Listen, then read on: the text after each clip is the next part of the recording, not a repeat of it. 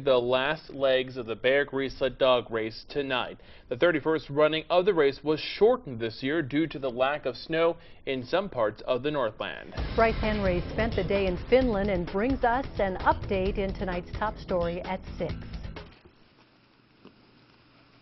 At the checkpoint in Finland, mushers took time to give their dogs a rest and prepare for about 70 more miles to the finish. The night before was not easy. When I got in here this morning, that was one long night.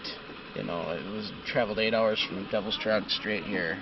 Past Beargrease winner Nathan Schroeder spent much of the race just behind Ryan Anderson. Oh, I just can't catch him. I haven't really tried.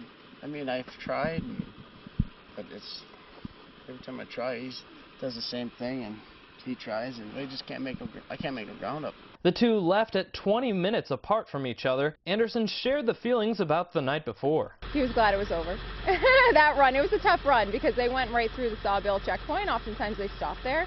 And so as opposed to breaking it up, it's a lot of hills on these last two runs that they do. So as opposed to stopping and breaking it up, they decided him and Nathan went right through. Going right through and being in the lead also led to a point of confusion, as may be expected when you're on the trail in the dark. At one point, he wasn't sure if he was on the trail. That was kind of the biggest thing. For about seven minutes or so, he couldn't didn't see a marker or anything. Other mushers who may not be in the lead are still making big strides. 19-year-old Jenny Grieger is on track to finish her first Beargrease. You know, if I finish this race, um, that'll put me qualified for Iditarod, so I could potentially enter it in the upcoming years. I don't have any you know, specific plans yet, but it could be in my future. She says for now the focus is on the finish line of the Beargrease despite the weather's challenges. Kind of warm for them, that's what's keeping the speeds down, and then the fresh snow on the ground too um, keeps them slowed down. Maybe slow, but certainly steady. In Finland, Bryce Henry, KBJR 6 and Range 11.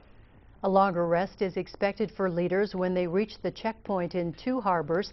The winner should finish sometime late tonight at Billy's Bar in Duluth.